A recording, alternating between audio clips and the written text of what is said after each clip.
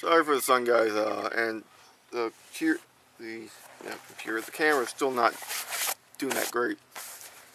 And wow, that sun is hot. Um, I waxed it uh, not too long ago. Actually, it was just today, not too long ago.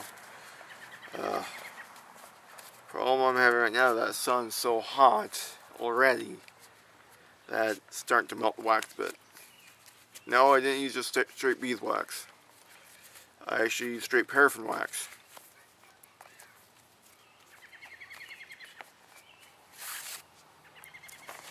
Yeah, this is the side that was on the ground, not getting hot, but this is the side that's hot. Fortunately, like I said, it's just really, really hot today.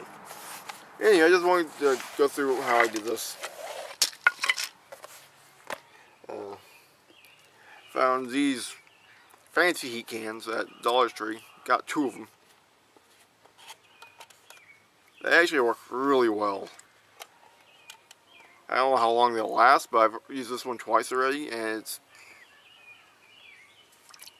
sounds like it still has quite a bit left. So, as far as actually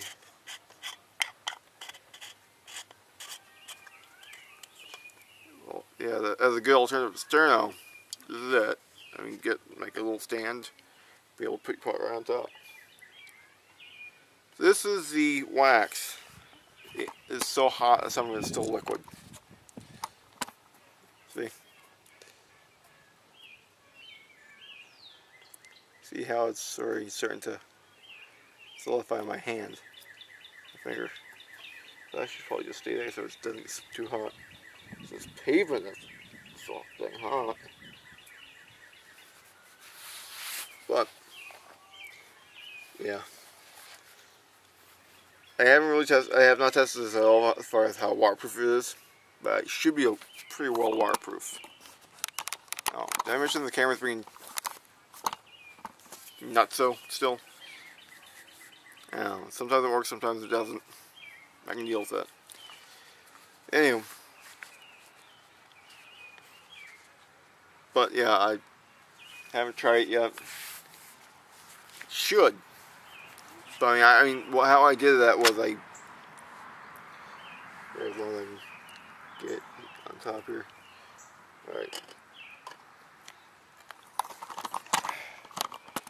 Saw this on video today. There. Of course, oh, not like that though.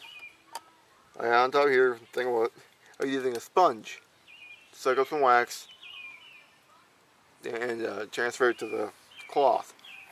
That actually works really, really well. I actually got a lot on here. It's, it actually mostly soaks straight through to the other side. So I didn't have to use a whole lot of wax. Thankfully I got a ton here, still quite a bit here still. Alright, well, as everything's cooled off. I just wanted to